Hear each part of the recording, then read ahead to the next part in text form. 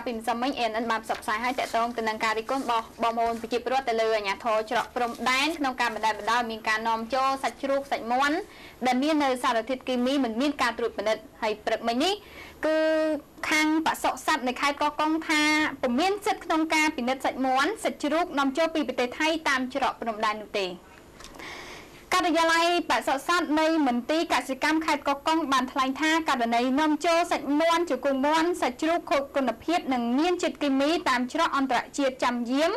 ខាងបសុសត្វពុំមានសិទ្ធិក្នុងការពិនិត្យនោះទេថ្លែងប្រាប់ ANN ការពិព្រឹកមិញលោកខៀវកនិតប្រធានការិយាល័យបសុសត្វនៃមន្ទីរកសិកម្មខេត្តកោះកុងបានថ្លែងថា ករណីត្រួតពិនិត្យនេះគឺមន្ត្រីកម្មគងត្រូលប្រចាំច្រកជាអ្នកមានទូនីតិចំណែកខាងលោកគឺគេហៅទៅសហការពេលមានករណីត្រង់ត្រីធំតែប៉ុណ្ណោះ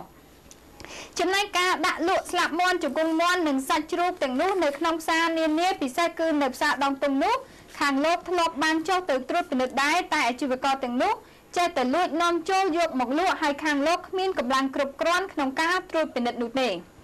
តែយ៉ាងណាក៏ដោយបើតាមលោកប្រធានការិយាល័យរូបនេះថាករណីនេះលោកនឹងធ្វើរបាយការណ៍សំយោបល់ទៅកាន់ប្រធាន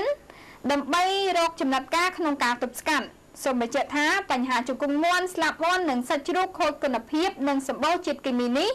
បច្ចុប្បន្នវាបានខ្លាយជាចំណោទនឹងការព្រួយបារម្ភយ៉ាងខ្លាំងសម្រាប់បងប្អូនប្រជាពលរដ្ឋខេត្តកោះកុង។ ព្រោះតែមានការបណ្តែតបណ្ដោយឲ្យនាំចូលយ៉ាងអនាធិបតេយ្យក្រោមការបាក់ដៃពីសមត្ថកិច្ចប្រចាំច្រកចាំយាមដោយមិនបានគិតគូរពីសុខភាពរបស់បងប្អូនប្រជាពលរដ្ឋនោះចំពោះបញ្ហាទាំងអស់នេះ NN ធ្លាប់បានព្យាយាមតាក់ទងសំការបំភ្លឺពីខាងមន្ត្រីកម្មគងត្រូលជាច្រើនលើកច្រើនសារតែមន្ត្រីទាំងអស់នោះហាក់កិច្ចវេះមិនផ្ដល់បទសម្ភាសន៍ដែលយកលេសជាប់រវល់និងជាប់ប្រជុំរហូត